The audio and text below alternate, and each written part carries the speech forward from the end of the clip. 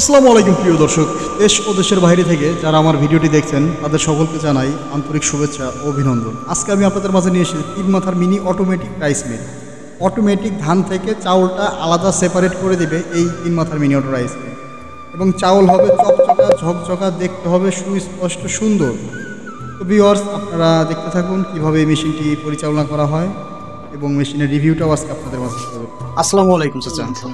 এই যে আপনি যে ধানগুলো নিয়ে আসলেন এই যে মেশিনটা দিয়ে আপনার পাশের বাড়ি যে মেশিনটা সেট করা হয়েছে গ্রামে আপনাদের মানে এই মেশিনটা আনার পরে আপনাদের সুবিধা হয়েছে না অসুবিধা হয়েছে? সুবিধা আমরা ধরেন যে পাঁচ কেজি দশ কেজি বিশ কেজি যা হয় জি। আমরা সবসময় নিয়ে আসি এইভাবে ভাঙ্গাই আমার গরু খানা মানুষের খানা সব কিছুই আমরা এখানে নিয়ে আসি। আচ্ছা আচ্ছা আচ্ছা। এই মিনি অটো রাইস মিল দিয়ে আপনারা একদম ফুল ফ্রেশ চাউলটা পাবেন। একটা খুদ একটা ভাঙা চাউল ওই চাউলের সাথে আসবে। সবগুলো সেপারেটলি আলাদা আলাদা হয়ে যাবে। তো এই ধরনের তিন মাথার মিনি অটো রাইস মিল আপনারা ধান ভাঙানোর পাশাপাশি গম ভুট্টা হলুদ মরিচ ধনিয়া যা আছে এভরিথিং সব কিছু ভাঙাইতে পারবেন। ভেজা চাউল পিঠা বানানোর চাউল তো পুরো ভিডিওটি স্কিপ না করে দেখতে তো চাচা এই যে মেশিনটা আপনাদের এলাকাতে আসছে আসার পরে আপনাদের মানে সুবিধা তো মোটামুটি ভালো হয়েছে। সুবিধা ভালো মানে চাউলের মধ্যে আপনার কোনো তুষ গুঁড়া কিছু থাকে না।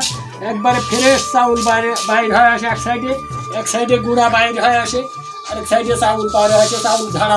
চাউল ঝাড়া লাগে না। প্রথমবারে একদম ফ্রেশ চাউল পাওয়া যায়। হয়। আর এই মেশিন দিয়ে আর কি কি কাজ করা যায় চাচা? এখানে মেশিন দিয়ে করা যাচ্ছে হলুদ মরিচ গরুর খাদ্য ভুট্টা গমে। গমের আটা।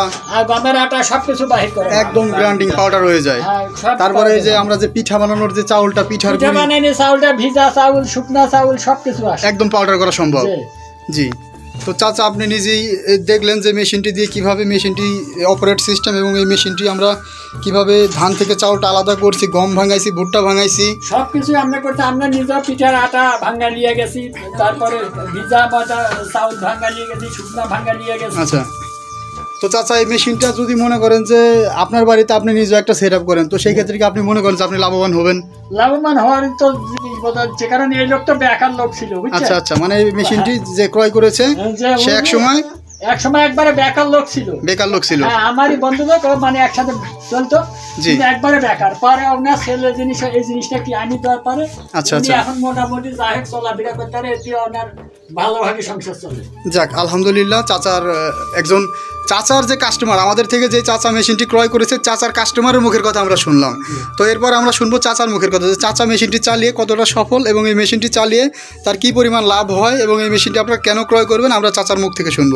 তো বিয়ার্স আপনারা পুরো ভিডিওটি স্কিপ না করে পুরো ভিডিওটি দেখতে থাকুন।